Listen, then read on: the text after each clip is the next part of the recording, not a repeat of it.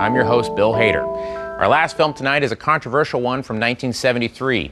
It's writer and director Terrence Malick's Badlands, starring Martin Sheen and Sissy Spacek. It's a road movie that takes in the romance and the allure of two lovers on the run, but with the addition of grim reality. The movie is based on the infamous crime spree committed in 1958 by a man named Charles Starkweather. He killed 11 people and remained at large with his girlfriend, Carol Ann Fugate, in the Midwest for several weeks. In this movie, the characters' names are changed and some of the details have been altered.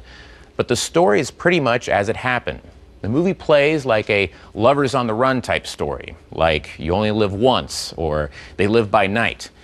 But as a road movie from the early 1970s, it shows two restless youths trying to find meaning in their lives by committing terrible crimes.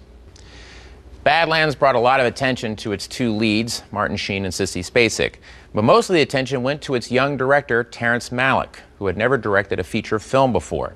Since this stunning debut, Malick remains one of the most intriguing and elusive filmmakers. He's very rarely photographed, in fact. But if you want to know what he looks like, about an hour into this film, Malick shows up as an architect in a scene with Martin Sheen. So here it is, also starring Warren Oates, Badlands. And no doubt about it, Badlands has had a tremendous effect on many films, most notably 1993's True Romance.